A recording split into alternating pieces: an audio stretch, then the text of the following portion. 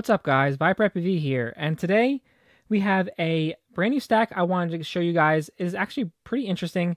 Um, it is the Rush FPV Racing uh, flight controller and ESC stack. Um, it's an F7 flight controller, and then also we have this up to 6S voltage um, ESC.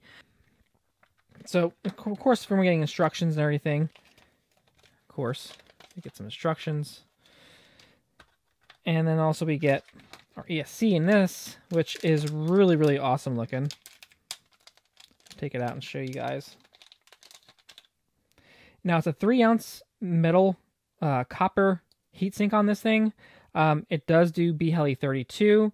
It does up to 50 amps and then 60 amp bursts, which is awesome. So this would be really nice to put on a freestyle quad. Probably a little heavy to put on a racing quad, um, but you still could put on a racing quad if you're not competing at the highest level.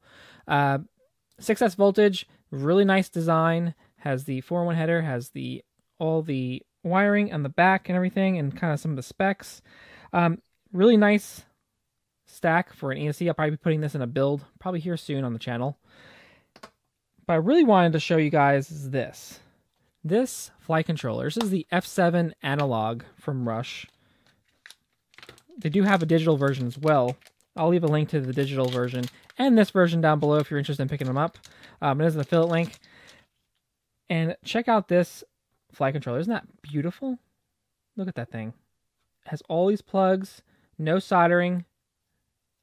You can solder though on the back side if you want to. So this will make your build super, super clean. And I'll probably be working on like a main review on this thing once I do get this thing into a quadcopter. Um, this thing has tons and tons of versatility. Uh, since it is an F7, we don't have to worry about really going out of style. Um, it is the analog version, so unfortunately, uh, it does have the OSD chip on it. Uh, but if you're going to be putting this in a digital version, you can.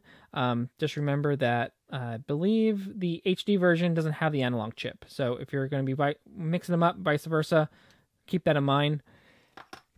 Now, I wanted to kind of just zoom in on this flight controller and kind of just show you what all it's all about. Comes with all of these plugs for flight controller to connect to all types of different devices, either a camera, a VTX, also the oh, even comes with these little extra pieces just in case it doesn't you don't have the right one. Comes with gummies, comes with a whole bunch of stuff. Look at this stuff. Awesome. Even comes with a little sticker in there. Throw that away. But I'm going to zoom in on this, and uh, we can kind of look at the specs and everything. All right, so this flight controller, just to give you a little bit of rundown, it is an MPU 6000, so it is using the MPU 6000 gyro, which is trusted and true uh, throughout the industry in FPV. Um, it is using the F7 uh, CPU on it, and it does have black box, 16 megabytes of flash. It has six PWM ports, and it has five UARTs and one I2C connection. Uh, has battery voltage and current monitoring. It has um, LED support. It has really everything. Even mount the GPS on it. Here you go, the SCL, SCDA pins. Uh, you have everything really nicely laid out on the back of this flight controller. And like I said, it makes it really unique is that it has this nice little heatsink on top, which is actually not a heatsink. It's actually just a piece of metal, just kind of just showing it, making it look neat, nice and neat and cool. Um, but it does have these plugs for your 401 ESC. You have your camera right here. Your VTX is down here.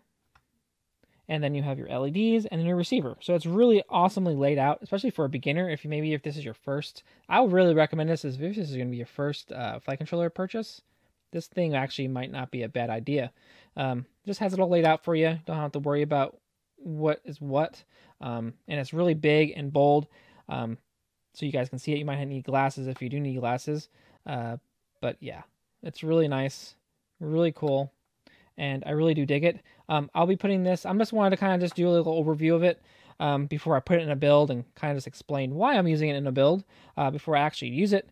Um, because a lot of people just pick stuff they'll pick up the build and uh, they'll be like, this is what I'm using. and that's what they're using.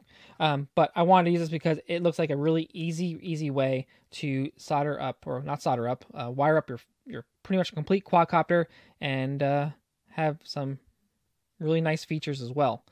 Um, but I'm gonna let you guys go. Um, these will be in the video description if you want to check them out.